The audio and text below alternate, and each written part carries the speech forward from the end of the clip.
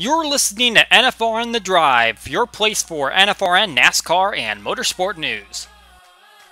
Hello again, everybody. I'm Colin Denton with another edition of NFR NFRN The Drive.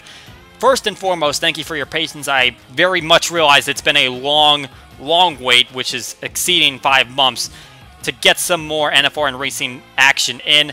There's been a lot of stuff happening over the past few months, and I've got a big personal life change coming up. That's something you're going to notice soon enough but I'm not going to reveal it yet. That is something you'll find out later on. And there are some things that have been happening behind the scenes as well that we're going to see coming up.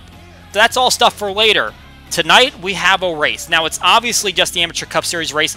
We just wanted to get something out there as the Elite Cup Series race will be out later on. And we'll have a th throwback unveil in a few moments. That is going to be a big thing to see because the Elite Cup Series paints have not been seen yet.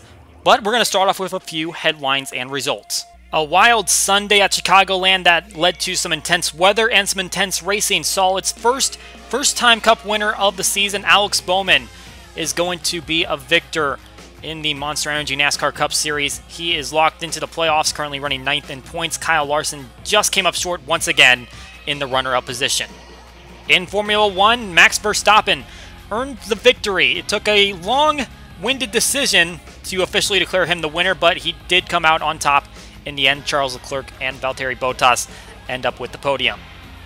And in the Whelen Euro Series Elite 1, Loris Hezemans ends up with the victory. Seth Jens Longen takes the points lead as Alon Day has a horrible weekend and loses the points lead. And in Elite 2, it's Lasse Sorensen who gets the victory, and Giorgio Maggi, second place, has the points lead over there.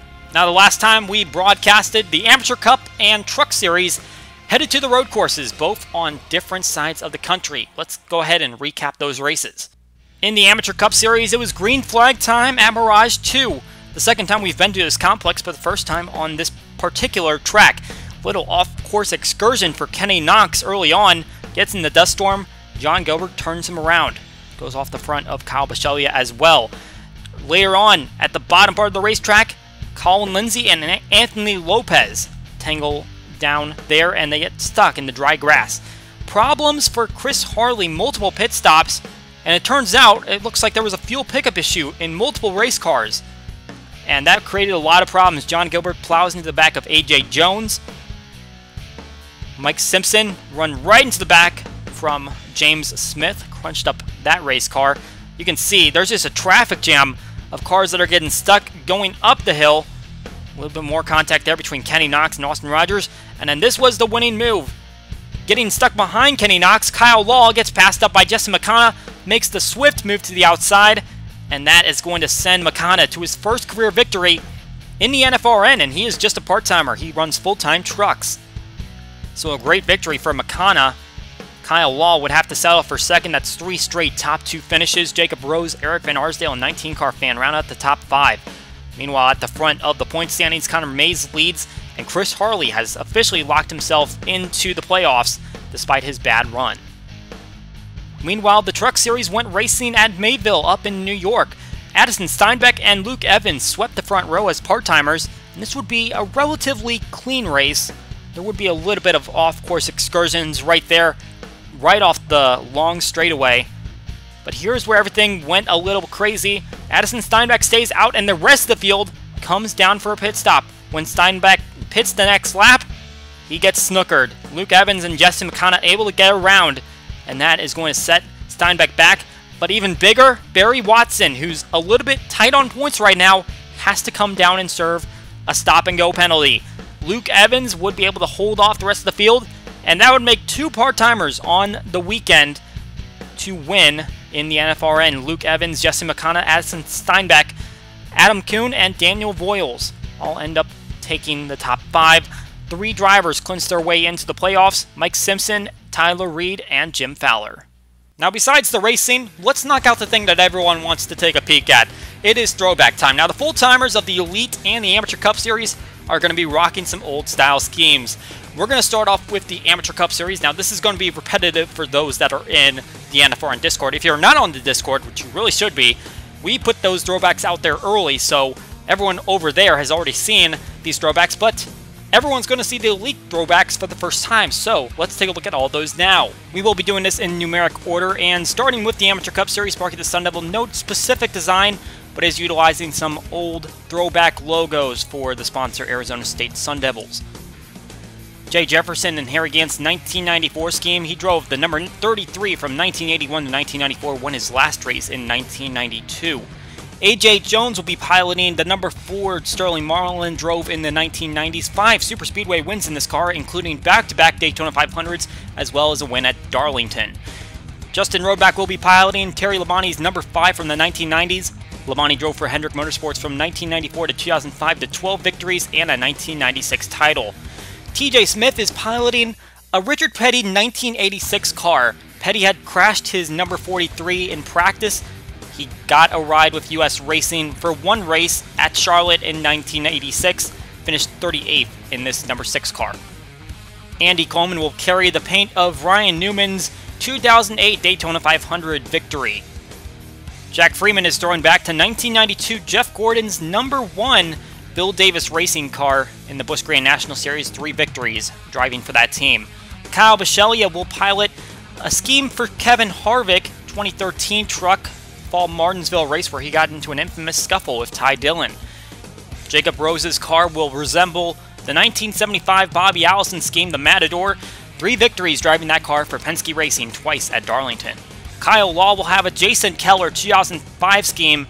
McDonald's as a sponsor, one season driving for Team Rensi Motorsports, ninth in standings that year. Ray Chapman will have an early 1990s Ken Schrader scheme driving for Hendrick Motorsports, earned a total of three victories while on that race team. John Gilbert will throw back to Tony Raines' 1997.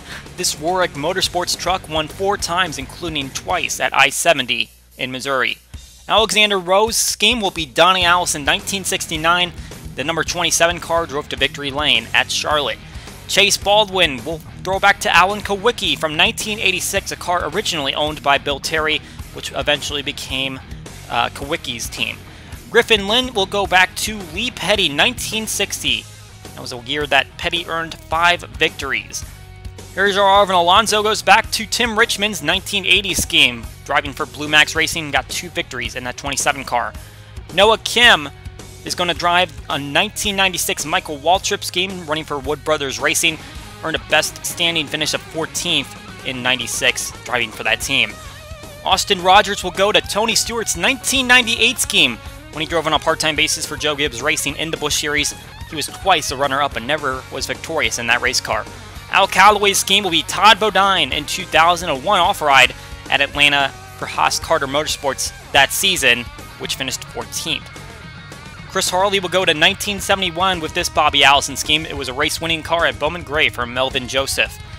Donnie Moore's scheme will be Ricky Craven out of 1998 part-time Hendrick Motorsports ride. Joey Radcliffe will drive the 1961 Bob Burdick scheme. Burdick was a race winner at Atlanta that season, made a few cup starts during that era. Ryan Kendall will throw back to Kenny Wallace, the 1999 scheme, while he drove for Andy Petree Racing. Shane Borland's throwback scheme will be Greg Biffle's 2001 car from the Busch Grand National Series. First two full seasons of the Busch Series, Biffle earned nine wins during that time span. TJ Ball will throw back to AJ Foyt 1964, a Daytona winning race car. Dwayne Calloway will throw back to Carl Adams 1975. Adams attempted the full season that year, driving for Richard Mummer. Eric Van Arsdale is going to the late 1970s Darrell Waltrip scheme, had Gatorade on the car, and Aflac this time around, 25 wins, driving for DiGard Motorsports. Jake Thomas will throw back to Benny Parsons, his mid 1970s scheme, the number 72, 12 wins for DeWitt Racing for Parsons. Anthony Lopez will go to Mark Martin's 1989 scheme.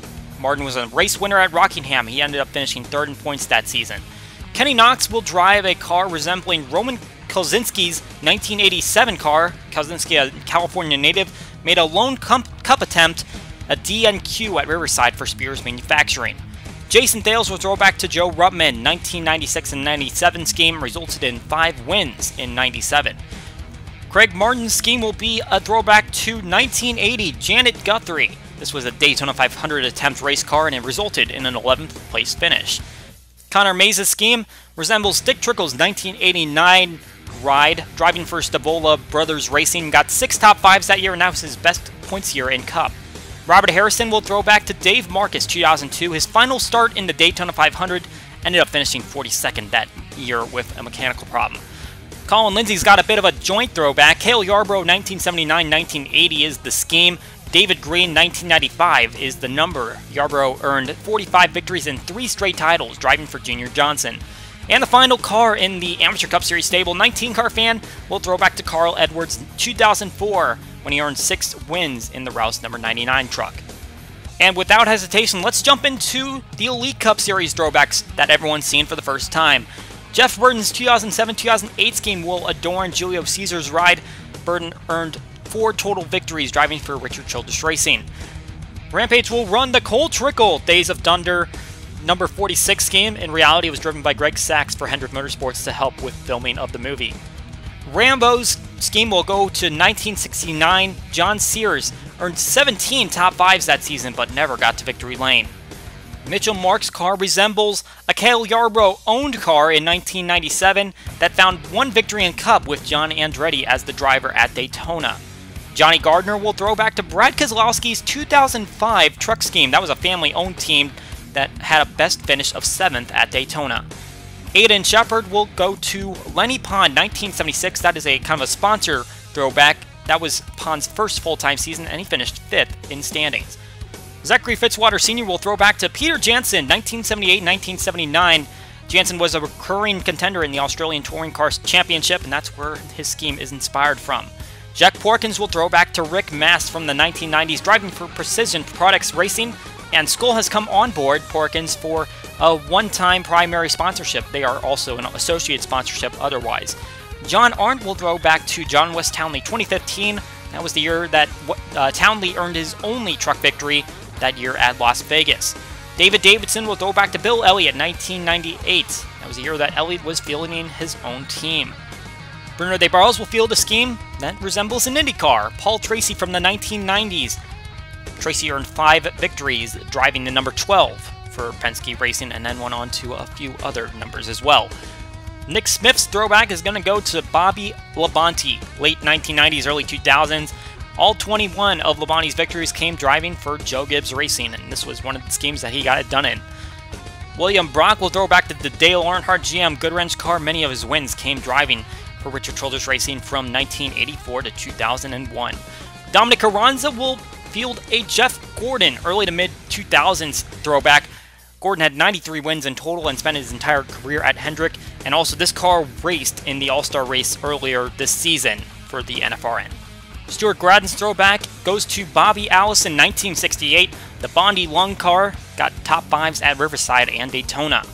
Eric Monaco will throw back to 2002 Tony Stewart's one-off race truck at Richmond that he won in, and Monaco has come on board as a sponsor for this race as well.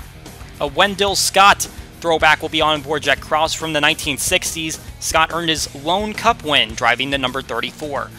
Caleb Campbell will throw back to AJ Foyt's IndyCar team. Foyt is 44 times a winner as an owner, but 35 times driving the car, so 9 times when he is not driving the car. Cody Hagan is going to throw back to Kyle Petty's early 1990 scheme, the Mellow Yellow car. Petty earned 6 victories driving for Sabco Racing. Noah Cars will be in a Jerry Nadeau 2002 scheme, a short-lived stint for Petty Enterprises. Of course, that car was not very short-lived, but Jerry Nadeau in the car was. Tyler Markell will go to 2011 Jimmie Johnson scheme. Obviously, Johnson, a seven-time champion for Hendrick Motorsports in the Cup Series. Brad Stover's also kind of doing a little bit of a combination throwback. It's Michael Waltrip's 2001 scheme and his 2006 number. Waltrip earned four restrictor plate wins for Dale Earnhardt Incorporated. Amethyst Astley will have a mid to late 1990s Jason Keller car. Keller earned 10 victories while driving the number, number 57 in the Busch Series. Stephen Willey will throw back to a Rusty Wallace racing scheme from 2009. That team won once in its latest stint, never in the number 62 car though. NASCAR Fan 19 will throw back to Elliott Sadler 2004. Sadler earned two of his three career Cup wins that season. Dale Jr. fan 88-83 will throw back to Neil Bonnett from 1985. Bonnett earned three wins, driving the number 12 for Junior Johnson. Jonathan Rains' car will resemble Bobby Hillin's 1995 U.S. Air car.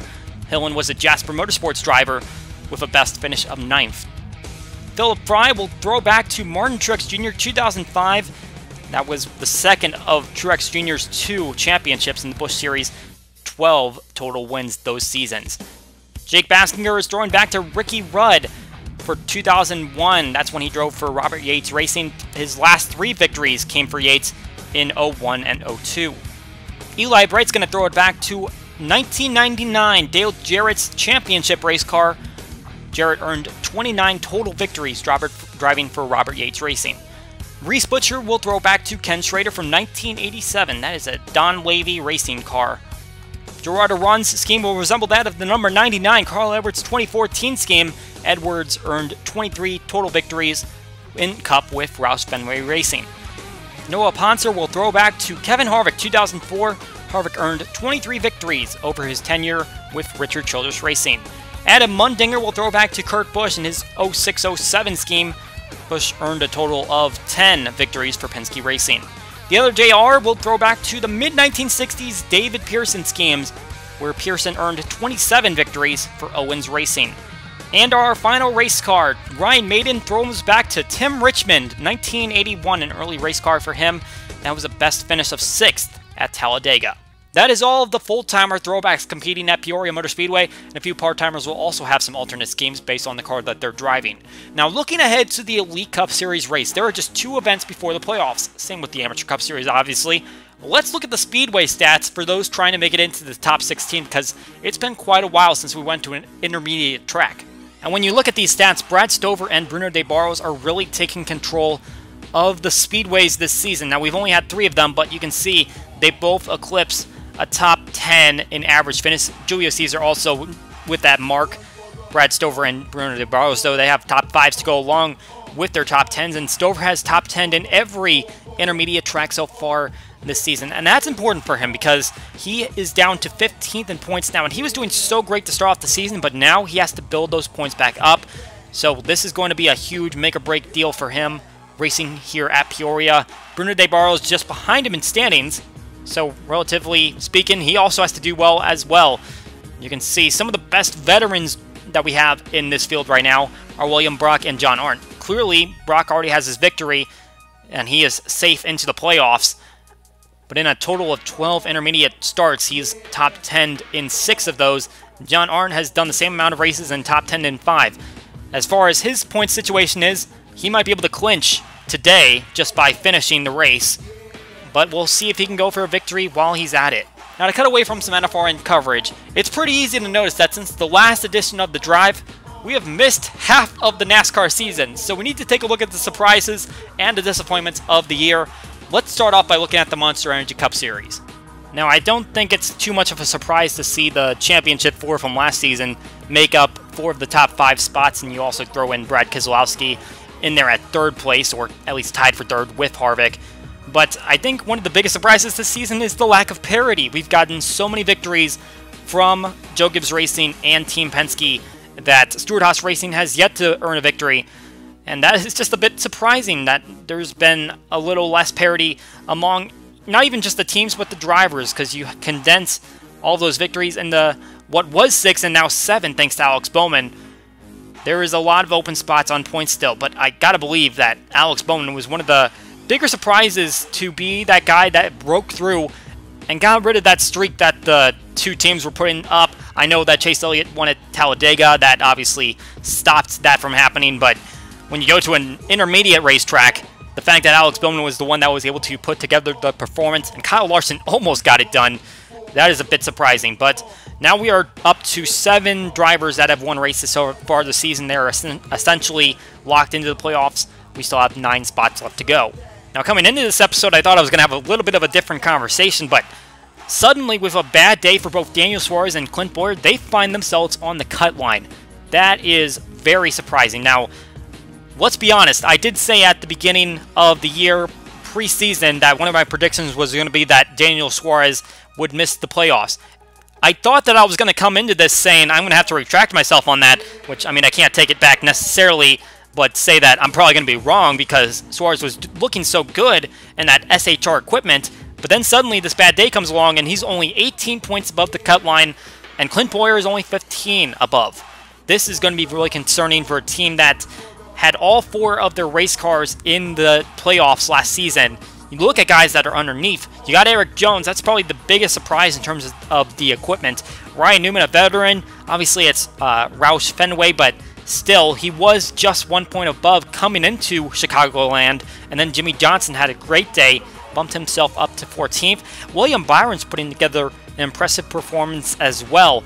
Chad Knaus really improving that driver in his sophomore season. He is up to 12th place. We will see how this all shakes up in these final nine or so races. As it relates to the Xfinity Series, there's not much to explain here because it seems like at this point that the playoffs are essentially set. All they're really racing for at this point is to gain more points for, well, getting in the top 10 and getting those season end points, but also grabbing victories. And there haven't been a lot of guys that have gotten wins because they've all been hogged by these top three guys. Reddick, Custer, Bell have accumulated 11 wins this season. Michael Annett got the Daytona win. There's been a couple of Cup wins scattered in there. Frankly, there's been a lot of Xfinity wins by those drivers, even when some of the Cup guys come in to the races. So great runs by these top three, but yeah, looking at the standings, you basically know who's the top 12 going into the playoffs. Now it's a matter of how does that shake up? We're basically waiting for those final seven races of the season. I think the big thing that really cut this one apart is the fact that Ross Chastain moved over to truck points, and then that meant that there was no guy on that 13th threshold that could really contend. And I know that it was going to be a little bit more difficult for Chastain to win in the four car, or maybe even get those points, but at the same time, he was that last hope, and he even had some chances in the 10 car as well that could have been resulting in victories, and then he went ahead and switched his points declaration. That basically wipes out any chance that we had of separating someone else in the top 12. And so 98 points in the cut line. I doubt there's going to be any changes except maybe within that top 12 for position. Looking at the Truck Series, it's a little bit of a tighter situation. Now, we know that Ross Chastain has won a race. He's not within the top 20 in points yet, even though that should be safe. And because he's not there, that is why this top 10 looks the way it is. Technically, it should read that Todd Gilliland would be out at the moment because Johnny Sauter has won. Ross Chastain's going to bump up as well. That is going to leave some guys on the outside looking in. To walk you through it kind of verbally, we have four different truck uh, championship competing winners so far this season. And so that would technically mean that Ben Rhodes is the one that is above the cut line. Just a matter of fact that there's some guys that are outside the top eight that have won. That that list is not the way it is, but yeah, we got to pay attention to who is going to be on the outside when it comes down to these final races. Harrison Burton and Todd Gilliland. I know Burton's a rookie, but Gilliland in his second season, a little bit concerning. Just a matter of fact that if KBM can't put themselves in the playoffs, that is going to be a big disappointment for that team. All right, it has been a long wait for this racing to happen. Let's not waste any more time. Just a few quick notices about the league before we hit the track. For those that want to get involved in the league and are not yet doing that, there is signups to attempt qualifying for the NFRN Truck and NFRN Open Modified races. That deadline is going to be two days away from now, Wednesday, July 3rd at 8 p.m. Eastern Time. We want to make sure that we start to get the season a little bit quicker, so that is why we're bumping this deadline up. It's only open to drivers not currently a member of the NFRN. We have a few current new entries for Race 9. Just to clear it up, that is not the next race in the Truck Series schedule that has been run, but it's not been broadcasted yet. So this is the race after the next truck broadcast. And if you don't see your name on this list and you signed up like in January or something like that, which was the last deadline, that probably means you're in race number 8. This is essentially your last opportunity to sign up for the NFRN 24-hour race because signups are going to close down when the drive for the next Elite Cup Series broadcast takes place. There is going to be a link in the description that will give you the easiest pathway into signing yourself up for this race. There is a way to sign up as a team, but there is a way to sign up as just a driver that will be on standby and assigned a team at the time that the signups close. So, the link down in the description, the video, that is what you want to watch to make sure that you will be competing as, in this event. These are some of the drivers that have already signed up either as a team or as a standby driver. It has expanded since the last time we did an episode because we had a little reminder video a little bit ago. But this is the current state of things, and if you are not a part of it right now, click on that link in the description. Go find out how you can get involved. And as always, the easiest way to get information is to join the NFRN Discord, which is in conjunction with the ASCA League. That link is also down in the description. Go ahead and join it for some news and updates and to get involved with the community. So it is time to go throwback racing with the Amateur Cup Series at Peoria. As mentioned, the Elite Cup Series race will run at a later date yet to be determined. We will not proceed that with another episode of The Drive. It will be a standalone premiere. So it's time to narrow down the contenders to make the playoffs in the Amateur Cup Series. Enjoy the race, and for NFRN and RVN, my name is Colin Denton. Good night. Good riddance. Louder!